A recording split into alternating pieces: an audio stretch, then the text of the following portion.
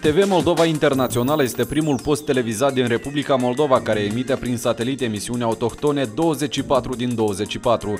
Este un canal pentru cei care doresc să afle cât mai multe despre Moldova din prima sursă.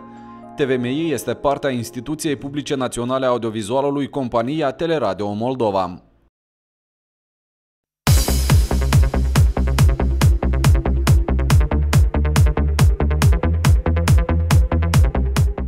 Satelitul Eutelsat W2 16 grade est permite recepționarea postului TVMI în tot spațiul european și în Rusia până la Ural.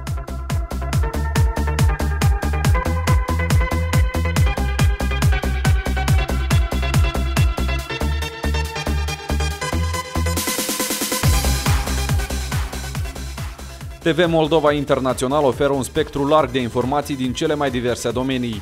Grila de programe constă dintr-o paletă largă de genuri, începând cu emisiuni de divertisment și terminând cu buletinele informative zilnice. Obiectivul TVMI este de a oferi conaționalilor informații de acasă oriunde nu s-ar afla.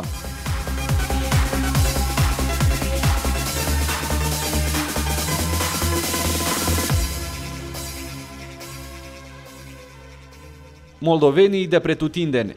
Proiectul are ca scop să prezinte istorii de viață a concetățenilor noștri aflați peste hotare, care în medii culturale diferite depun eforturi pentru a păstra tradițiile neamului, care promovează interesele și imaginea Republicii Moldova.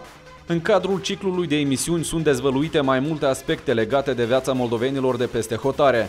Proiectul televizat își propune să depășească anumite clișee în ceea ce privește activitatea moldovenilor de peste hotare. Este un program care developează nu doar impedimentele pe care le întâmpină moldovenii aflați departe de casă, dar și succesul pe care l-au în cele mai diverse domenii.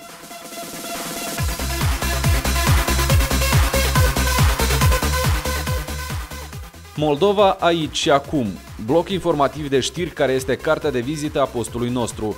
Zilnic, cele mai importante evenimente și fapte din Moldova constituie subiectele de bază ale știrilor TVMI. În zilele de weekend, telespectatorii au ocazia să vizioneze bilanțul știrilor sportive și al celor mai importante noutăți ale săptămânii.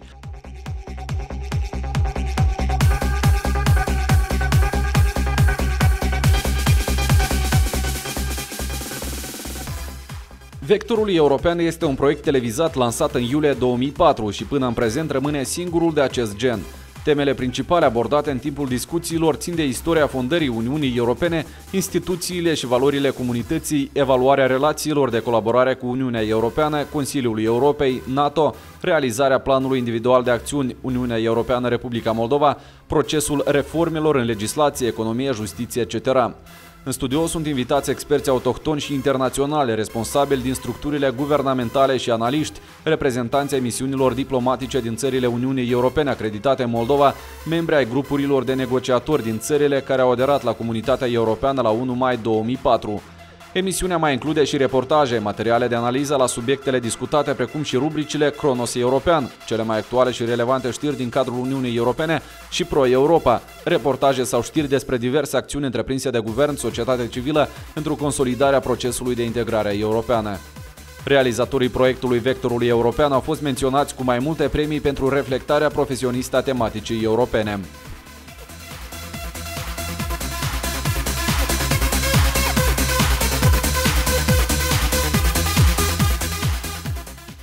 Un mărțișor pentru cei dragi.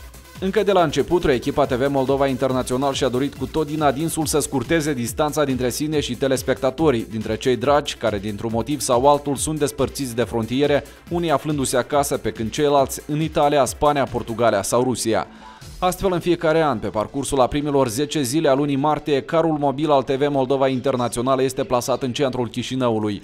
Piața Mare Adunări Naționale se transformă într-un platou de televiziune, unde fiecare doritor are posibilitatea de a transmite celor dragi câte un mărțișor. Cele 10 zile de mărțișor s-au soldat cu zeci de întâlniri virtuale dintre părinți și copii, frați și surori, rude și prieteni.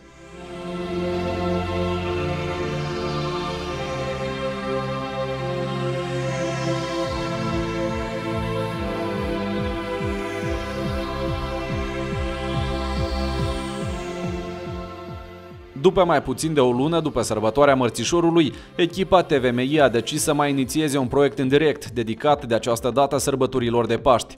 Învierea Speranților a fost o emisiune care într-un mod virtual îi adună pe toți la masa de sărbătoare. În cadrul acestui proiect au fost dezvăluite mai multe istorii de succes, avându-i ca protagoniști pe moldovenii care au reușit să se impună medii sociale și culturale